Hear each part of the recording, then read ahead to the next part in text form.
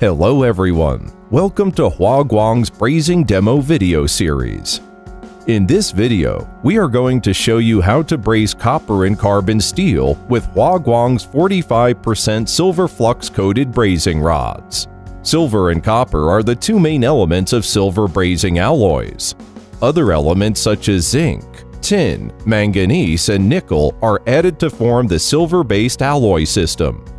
This 45% silver brazing rod is a kind of composite brazing product that has a layer of brazing flux coated on its metal surface. When used for flame brazing, flux-coated products enable us to add brazing alloy and flux based on a fixed quantity ratio. In this way, gas release from the flux during brazing can be significantly reduced. We are able to improve production efficiency while maintaining good brazing performance. 45% silver flux-coated brazing rods have a moderate brazing temperature, and their wetting properties and fluidity are excellent. They also have features such as high toughness, electrical conductivity, thermal conductivity, and corrosion resistance, which allow them to form joints with strong vibration fatigue resistance and good overall mechanical properties. They are mainly used for the brazing of ferrous metals or non-ferrous metals with non-ferrous metals.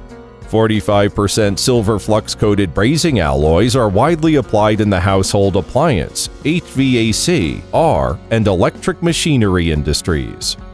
The product used in this demo has a diameter of 1.6 mm and a length of 457 mm. The joints we use in this demo include T-joint and socket joint and we will use flame brazing to braze copper and carbon steel. To ensure quality and strength of the braze joint, we need to pay attention to gap width for each kind of joint. Gap width needs to be in the 0.05 to 0.13 mm range. Blind holes are to be avoided in our socket joint designs. Two steps of pre-braze preparations include cleaning of the base metals and assembly of the brazing equipment. The flame we choose is neutral flame, and we use the outer flame to preheat and heat the braze parts. We point the brazing torch from side to side on the heating area so as to avoid overheating a particular spot and to make sure temperature is uniform at each spot. Socket joint is used for the brazing of tubes and pipes.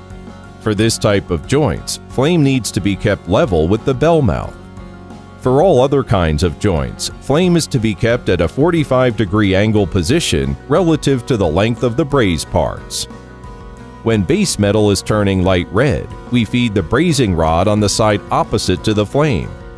Something to be noted, when we braze tubings, sometimes we need to switch the flame to the opposite side of its original position, so as to ensure filler metal can fill every spot of the gap flame is used to heat and melt flux coating on the brazing rod. Facilitated by this molten flux, brazing alloy melts and wets the base metals. Under capillary action, it fills the gap of the joint and it dissolves and diffuses with the base metals. After brazing, let the brazed parts be air-cooled and solidify for a while, and joining of the base metals is now completed. We put the brazed part into water bath. Then wipe away any slag and residue on the surface using a towel and taking them out.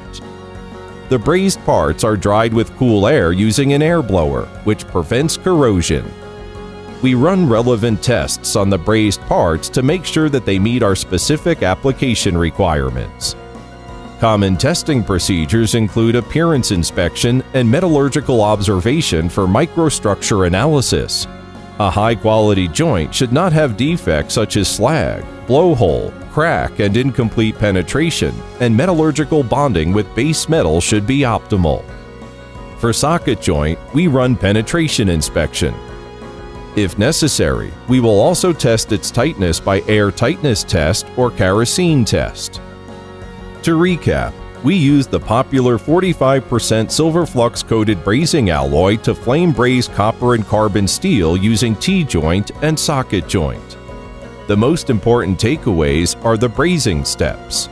First, we clean the base metals. Then we assemble the equipment and fix them in place. Thirdly, we preheat and heat the braze parts. Brazing flux facilitates molten 45% silver brazing alloy to wet the base metals and fill the gaps, which then dissolves and diffuses. Lastly, we apply post-braze treatment and run the relevant tests. Thanks for watching. You may subscribe to our channel for more brazing videos. Hua Guang is a trusted supplier of premium brazing products worldwide. For more information, please visit our website, huaguangwelding.com.